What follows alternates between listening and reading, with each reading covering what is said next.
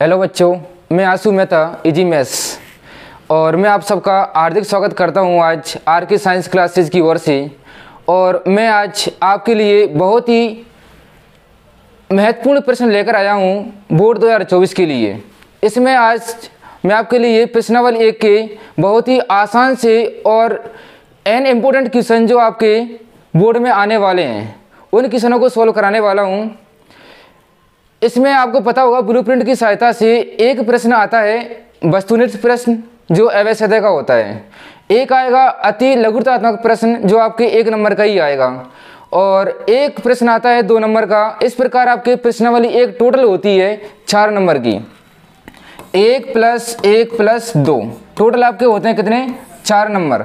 तो मैं आपको इसमें ये बताऊँगा कि ये पहला प्रश्न जो आपका आएगा, वस्तुनिष्ठ प्रश्न, वो कहाँ से आएगा और कैसा आएगा? और जो मैं बताने जा रहा हूँ, वो आपको एंस बोर्ड क्लास में बोर्ड के पेपर में देखने को अवश्य मिलेगा। केवल वहाँ पर आपकी संख्या चेंज हो सकती है अदरवाइज़ और कुछ ही चेंज नहीं होगा। तो आपका जो वस्तुनिष्ठ प्रश्न रहेगा, उसमें आपके कौन कौन से प्रश्न आ सकते हैं?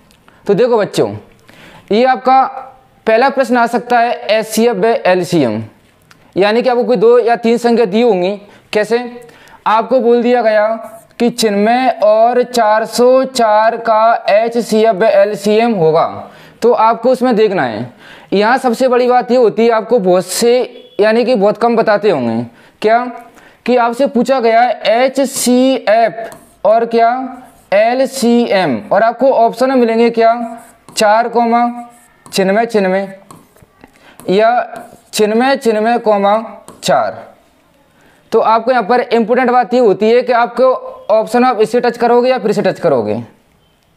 तो आपका डिपेंड करता है क्वेश्चन पे। आपके प्रश्न में पहले क्या बोला गया है? अगर पहले एच सी एफ़ बोला गया है तो आपका जो आंसर एच सी एफ़ का है, कितना? चार। और पीछे क्या एल सी एम तो आपका ये वाला क्या होगा? राइट होगा। लेकिन कुछ बच्चे क्या करते हैं, इसको राइट कर देते हैं। क्यों? क्योंकि उन्हें पता ही नहीं होता कि प्रश्न पहले पता पता क्या? वो देखते ही नहीं है कि प्रश्न में क्या पूछा गया एस पूछा गया कि एलसीएम पूछा गया है? वो तो आपको आंसर देखो और आपने वही क्या कर दिया? राइट कर दिया।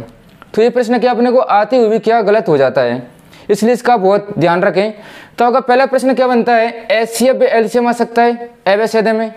या फिर आपके ये पूछेगा इंपोर्टेंट होता है अपरिमेय संख्याएँ। लेकिन बच्चों, इससे पहले आपको ये ज्ञात होना चाहिए कि अपरिमेय और परिमेय संख्या होती क्या है? क्योंकि इसमें बहुत ज़्यादा क्या होता है? कन्फ्यूज़न होता है कि हम अपरिमेय संख्या किसको बोलें?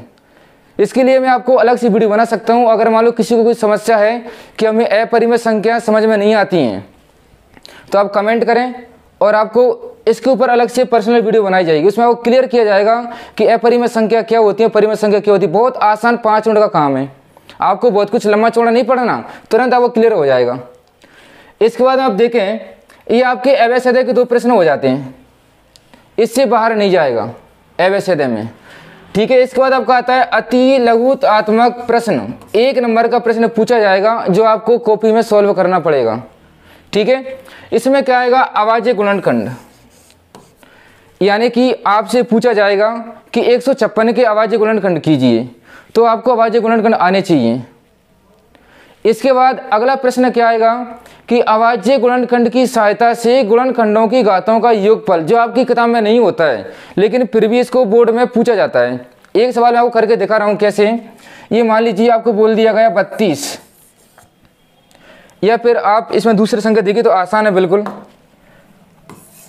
आप यहाँ पर देखिए एक सौ छप्पन। ये ये पूछा जाएगा कि एक सौ छप्पन की अवाज्य गुणनखंड की सहायता से गुणनखंडों की गाथों का योग योगफल लिखिए। तो देखिए अपन इसे सोल्व किस प्रकार कर, किस प्रकार करेंगे? इसमें करना है कि आपको आवाज़ गुणनखंडी करना है। दो का भाग दिया कितनी बार जाएगा? अठहत्तर बार।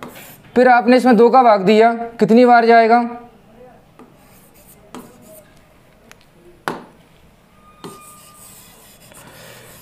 फिर इसमें किसका भाग जा रहा है भाई? तीन का जा रहा है। कितनी बार? तेरह बार। फिर तेरह का जा रहा है कितनी बार? एक बार। तो आपके क्या होते हैं? आवाज़ गुणनखंड हो गए। तो आप आवाज़ गुणनखंड को किस प्रकार लिख सकते हो? दो इंटू दो इंटू तीन इंटू तेरह। अब करना क्या इसने? यहाँ पर बोला क्या है? घातों का योगफल। ये इंपॉर्टेंट है इसमें। यानी कि घातों का योगफल होता ये है कि यहाँ पर अन के आधार समान नहीं है घातें कैसे जुड़ जाएँगी? जैसा आप जानते हो कि इनके यहाँ पर आधार समान होते हैं तो ही घातें जुड़ती हैं। लेकिन यहाँ पर ऐसा कुछ नहीं देखना। उसने बोला, क्या है? घातों का कोई योगफल लिखना है। तो इसकी घात कितनी होती है? एक एक एक एक। टोटल घातें कितनी हो गई आपके? चार। तो आप यहाँ लिखोगे, एक प्लस एक प्लस एक प्लस एक। यानी आंसर कितना आएगा आपके? चार आएगा। ठीक है? तो ये आप ध्यान रखेंगे इस वाले प्रश्न को, क्योंकि अपनी किताब में नहीं होता है और आगे आपको पढ़ाया गया है, नहीं पढ़ाया गया, लेकिन मैं आपको बता रहा हूँ। क्लियर है? तो आपके क्लियर होता है वस्तुनिष्ठ प्रश्न। एस या अपरिमेशन का पूछेगा। दूसरी बात, एक नंबर में क्या पूछेगा? आवाज़ गुणनखंड पूछेगा। ये आवाज़ गुणनखंड की सहायता से गुणनफल गातों का गुणनफल पूछेगा। बस इससे आउट आपका नहीं जाएगा। अब बात आती है आपके दो नंबर का सवाल। ये दो नंबर का सवाल वेरी वेरी इंपॉर्टेंट क्वेश्चन है। सौ परसेंट कह रहा हूँ, अगर इससे बाहर किसी भी कंडीशन में नहीं जाएगा ये, इनसे बाहर नहीं जाएगा। ये आपका फिक्स है कि ये तो आपका आना ही से कोई रोक नहीं सकता। ठीक है बच्चों? तो आपको यहाँ पर क्या पूछेगा? प्रश्न ऐसे ये पूछेगा कि सिद्ध कीजिए, रूढ़ दो, अपरिमेय संख्या है। या फिर पूछ लेगा, सिद्ध कीजिए, एक वटा रूढ़ दो, अपरिमेय संख्या है। या प्लस वाला पूछ लेगा, या फिर ये पूछ लेगा। ठीक है? एक, दो, तीन, चार। सोल्व करने का तरीका इनका बिल्कुल क्या होता है? दोनों का सेम होता है और इनका तरीका बिल्कुल क्या है? सेम होता है। तो आपके इससे बाहर नहीं जाने वाला। ठीक है बच्चों, जो पढ़ाया वो आया समझ में। अगर समझ में आया हो तो लाइक करें सब्सक्राइब करें और आगे कमेंट करें जो आपको जिसकी आवश्यकता हो। चाहे वो त्रिकोणमिति हो, चाहे वो प्रश्नावली छः आपकी प्रेम्य हो, कोई सी भी हो। जो आप बोलोगे वो आपको 100 परसेंट कमेंट करने के तुरंत एक दिन बाद आपको यहाँ पर लाइव मिलेगी।